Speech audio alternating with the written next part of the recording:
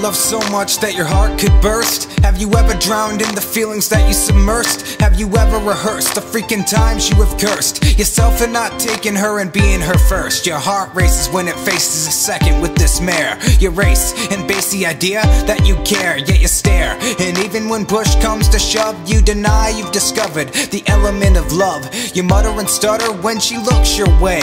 You flub up every time you attempt to say that you want her, you need her, you can't even compare the feeling of being with her and being there, as it were. Love is a fickle little mistress, a brittle little thing that causes so much distress and mess, and it leaves a lot of cold standing stiff. What's the point of loving something that you're not even with? What's the point of loving something that you can't even touch? What's the point of giving love if it's not returned much? It's a crutch for those who are denying the fact that love is real. It's here, and it's only just backed by the millions of couples that fall in deep romance, by the millions of lovers who just met by chance. But there's millions who have no one else to be with.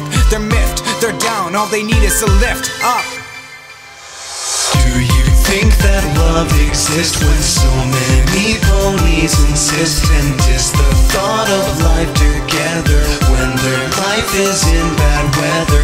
Whether we think love is true or whether love applies to you behind the games and the affair, some pony out there really cares for you.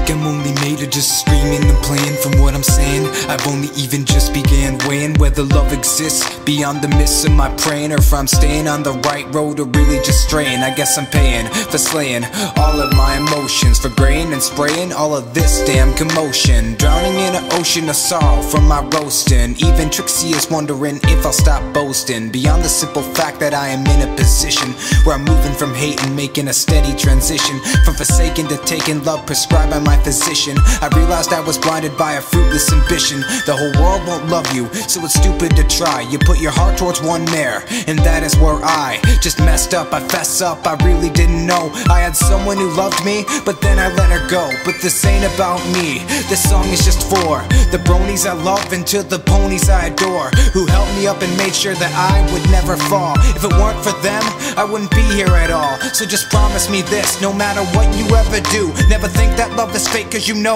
that isn't true. There's some pony out there, some pony you never knew, some pony out there is just waiting for you. Do you think that love exists when so many ponies insist? And is the thought of life together when their life is in